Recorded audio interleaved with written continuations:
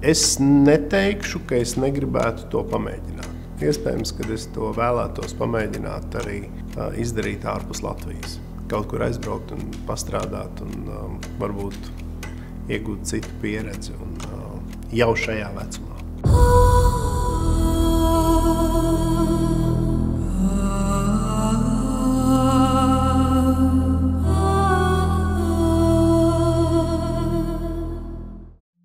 Cik es sevi atceros, tad no tā brīža, kad es vispār sāku saprast, kas notiek uz šīs pasaules un planētas, es atceros sevi kā daļu no sabiedriskās ēdināšanas, jo mans tēvs kādreiz strādāja jūrmalā, un viņš atbildēja par muzikālo noformējumu visos jūrmalas restorānos un kafejnīcās un ļoti bieži man ņēma līdzi.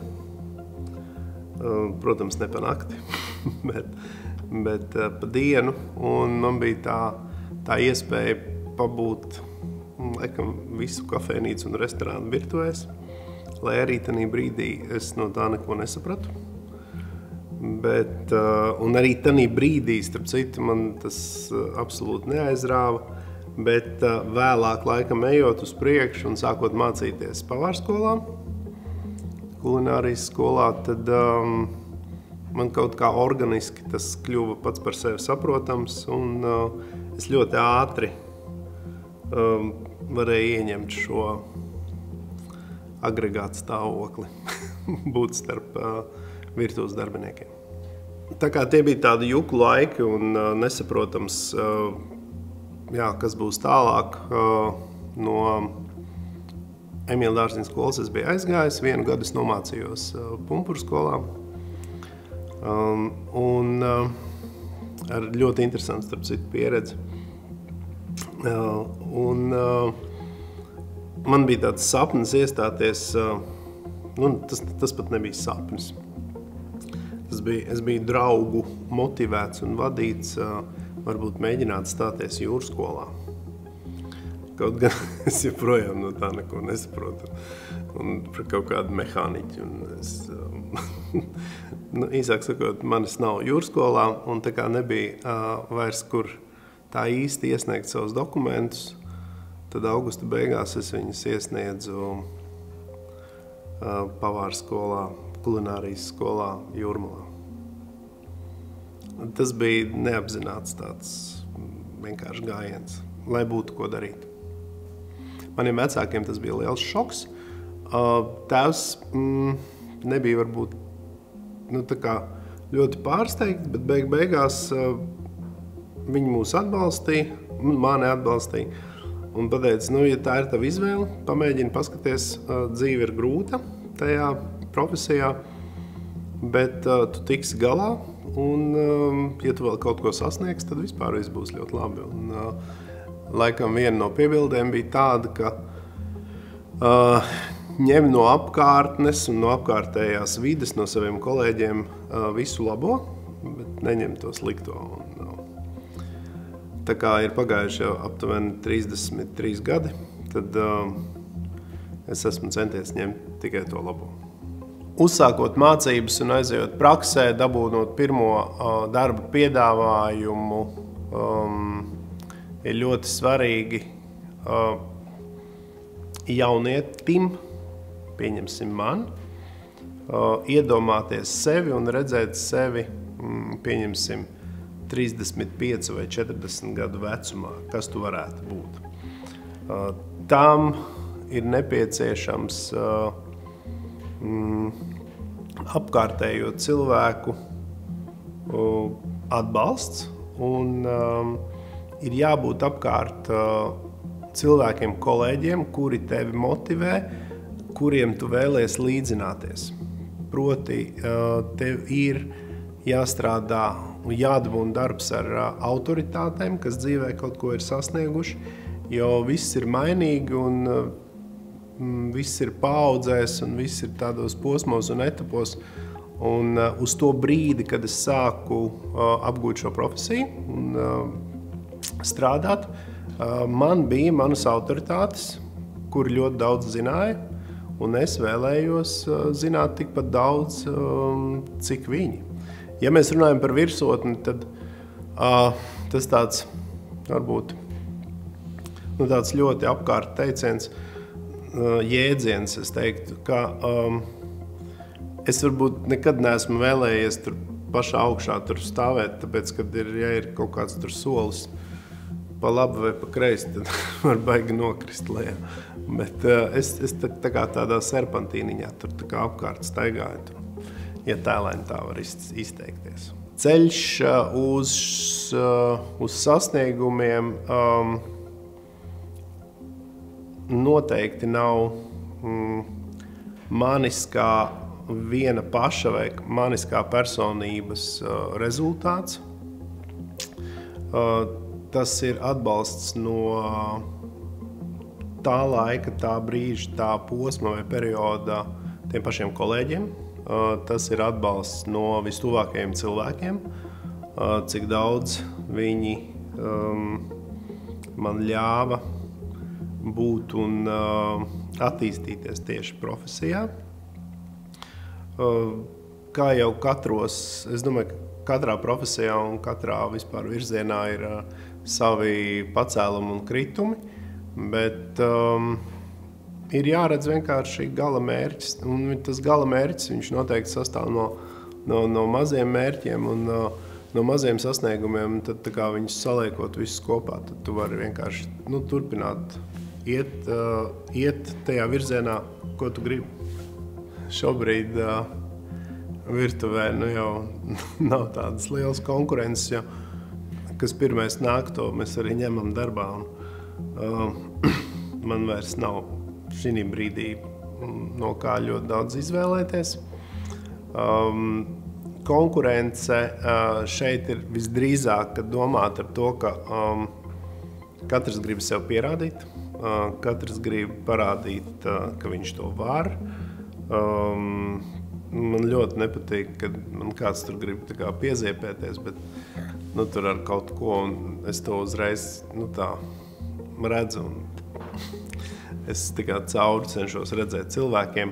Uh, strādājot ar mani kopā, vai man strādājot kopā ar, ar, ar, ar saviem kolēģiem, uh, Mums ir tikai viens mērķis. Mums ir mērķis um, padarīt uh, mūsu viesi ja, uh, laimīgu, priecīgu un smaidīgu ar visām savām zināšanām, spējām un iespējām, kādas mums visiem kopā ir. Un, um, šis ir darbs komandā. Tas nav viena cilvēka noteikti teātris. Un, um, ir svarīgi iemācīties, iedvesmoties no citiem un iedvesmot citus. Un, ja šī um, savstarpējā saikne ir, uh, tad uh, šis rezultāts ir ļoti labs. Viņš ir tāds, uh, nu, tāds spēcīgs rezultāts. Jā. Ar katru gadu mēs redzam, ka mūsu iedzīvotāju skaits mūsu valstī samazinās, diemžēl. Un, um, Ar nožēlu jāsaka, ka uh, liela daļa manu kolēģu šobrīd dzīvo citās valstīs. Um, daļa no viņiem, es kā pieņēmumu varu pateikt, kad aizbraucu, tāpēc ka tur skats pa logu ir nu, skaistāks. Varbūt gaisa svaigāks, bet daļa noteikti, ka nē, un labprāt atgrieztos. Bet es šobrīd nevaru viņiem neko tādu nu, piedāvāt nu, uz doto brīdi. un, um, virtuve un vispār ēst gatavošanas principi uh, mainās katru gadu. Un, um, ja man būtu ļauts kā, prognozēt un, un, un, un uh, izteikt savas domas, tad es teiktu, ka diemžēl uh, mēs nu, vispār cilvēki um, ar vien mazāk un mazāk sāksim atšķirt, kas ir ar, roku gatavots ēdiens un, un mašīnas saprogrammēts ēdiens. Un, um, kur, ja kādreiz mēs meklējām pavārus, tad uh, būs jāmeklē nu, kādas ierīces operatori. Um, ja jau gaļu šobrīd var uztaisīt ne no gaļas, un, un tā tālāk. Tad, um, es teiktu, pēc gadiem pieciem um, restorānā vai kafejnīcā uz simts sēdvietām vajadzētu pietikt laikam ar kādiem pusotram, nu, varbūt diviem cilvēkiem virtuvē, kur tikai principā LEGO vajadzēs salikt kopā. Un, un, un, um, tas būs pēc pieciem, varbūt septiņiem gadiem. Uh, šobrīd, ja restorāna mērķis ir uh, sevi pozicionēt kā mm, ēdināšanas uzņēmums, uh, kurš dara principā visu ar rokām no nulles, ieskaitot mizo dārzeņus. Un, un griež viņus, un paši apcep un apstrādā. Un, un uh, no, no veselas zivs tājas filējas ar rokām, nevis nopērk saldētas tur un, un kaut kā tur ūdens vannā atkausē. Tad um, šobrīd ir vajadzīgi, nu, uz tādiem simts cilvēkiem ir vajadzīgi kādi seši, ast, astoņi cilvēki lai tā pabarotu skaisti un kvalitatīvi to visu. Bet nākotnē tie būs divi. Uz šo brīdi um, es varu attiecināt um, tādu ļoti labu atbildi uz šo jautājumu uh, par to, ka es varos vaļā uh, tajā brīdī, kad citi vairs cietu. Um, un, um, tas skanēs dīvaini, bet es braucu, lai stāvētu.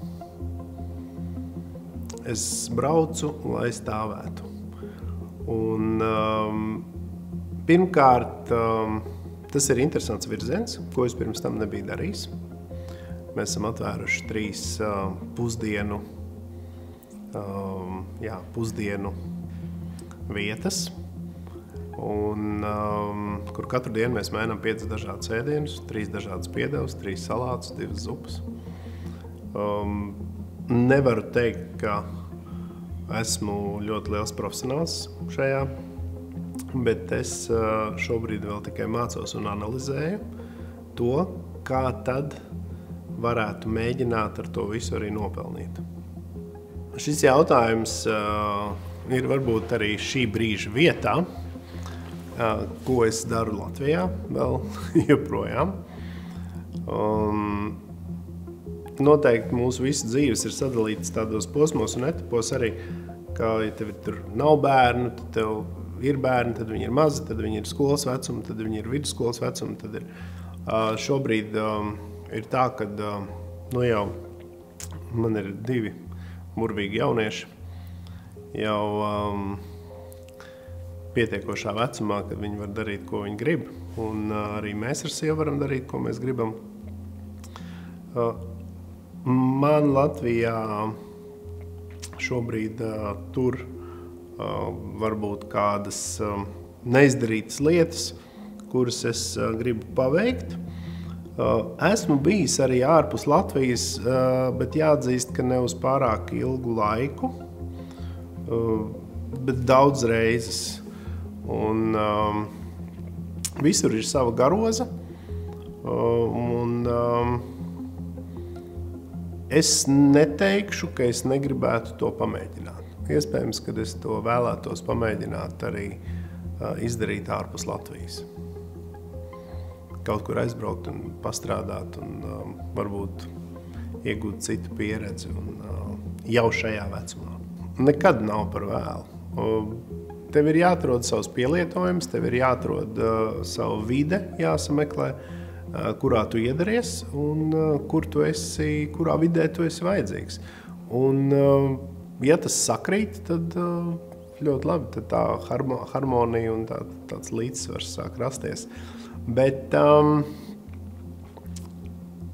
mm, Daudzi domā, ka aizbraucot kaut kur, tur ir viss vienkārši tur zelta kalni. Ir. Nu, tur visur ir savas garozas, un um, gribi, negribi Mēs vienmēr tur būsim nesavēji. Ja? Mēs tur būsim svešinieki, un, uh, bet var uh, ļoti labi iedzīvoties. Var iedzīvoties un justies ļoti labi tur. Tas ir ļoti individuāli katram cilvēkam. Tā kā es pēc horoskopa esmu vēzis, nu, pēc tiem dzimšanas datumiem un datiem, tad uh, mums patīk tā, nu, kaut kā tā mājās un nevienu klāt. Es laikam teiktu, ka mana dzīve nu, tā moderēti, tā, tā pa vidu. Ar grūtiem posmiem, šie posmi nav bijuši uh, ilgstoši grūti. Uh, man ir arī bijuši posmi, kad ir bijis varbūt vieglāk nekā, nekā es biju domājis, ka būs. Viņa nu, ļoti līdzeni ir gājusi uz, uz priekšu. Un, um, nav bijusi ļoti kā, liela pacēluma vai ļoti zemu kritumu. Nē, es kā līdzeni tādā stabilā plaknē kustos, pārvietojos savā dzīvē. Un, un es esmu ļoti tā kā, tāds pragmatisks cilvēks. Es, es, es, tā, es piedomāju par to, kas notiek. Un, un ko man darīt un ko nedarīt. Kaut gan citreiz kaut kāda ekspresija iz, nu, izšauja ārā. Um, bet tagad es zinu, ja es esmu kaut kur kļūdījies, tad es vienkārši esmu kaut kur kļūdījies un es pieņemu šo kļūdu, kad um, tā tas ir. Nu, var drīkst kļūdīties. Es um, principā neko nenožēloju, ko esmu izdarījis un, un, un kas ar mani ir noticis. Uh, vienīgi varbūt ir uh, kaut kāds laika posms, uh, kuru diemžēl mēs nevaram pagriezt atpakaļ, kad es neesmu bijis mājās. Um, nu, tā, tad, kad varbūt es biju tur vajadzīgs, jo es biju darbā. Un, šī ir šīs profesijas un ieņemamā amata varbūt tā medaļas uh, vai monētas vai medaļas otrā puse, ka mm, šis darbs, nu, mūsu profesija un darbs un ieņemamais amats, viņš prasa nu, tādu ļoti dziļu iedziļināšanos jautājumos, kulinārajos pārsvarā. Un es esmu šo laiku nozadzis no uh, savas ģimenes. Mani sapņi ir uh, diezgan vienveidīgi, tā var teikt. Bet es sapņoju, man ļoti patīk ceļojumi ar um, motociklu. ļoti patīk. Uh, ir atzīmēti punkti uz šīs zemeslodes, kuras vēl neesmu pabijis. Tie ir vieni no sapņiem, um, kuri pamazām sāk realizēties. Man ir bijusi tā iespēja būt daudz kur. Um, nākošais manas sapņu virziens noteikti ir, uh, ir virziens uh, par tādu tipu restorānu, kurš strādā tikai vakaros, un uh, kur uh, visi baltie cilvēki um, varētu paņemt sev divas brīvdienas pēc kārtas, nebūtu šo slīdošo grafiku un neviens tevi neraustītu Tas ir vēl viens sapnis, un patiesībā zem tā sapņa ir noteikti tāds apakšpunkts, ka pateicoties mūsu centībai, visi viesi aizietu priecīgi, laimīgi, un mūsu miskastes būtu tukšas, ja nu vienīgais tikai kāda salvete tur būtu iemesta, ka viss būtu apēsts. Tas ir tāds sapnis. Tad vēl viens sapnis ir, kurš pamazām starp citu sāk realizēties arī soli pa solim, ir um, uzstāties uh, varbūt uz vienas skatuves, varbūt tāpat no skatu ar kādu no mūziķiem, kuru es ļoti cienu. Un tas arī ir bijis jau daļēji, un, um, un tas noteikti var būt atkal, ja tie ir mani sapņi. Un, um, jā. o, es domāju, ka es esmu, es esmu jā, laimīgs cilvēks.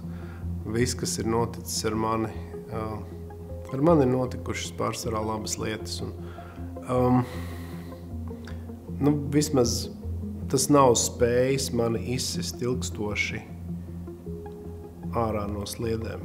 Ja arī kaut kas ir bijis nepārāk labs, tad um, pateicoties uh, um, saviem draugiem un, un, un vistuvākajiem cilvēkiem es esmu bijis atpakaļ um, šī vilcienā vai vagonā un, un tikai uz priekšu.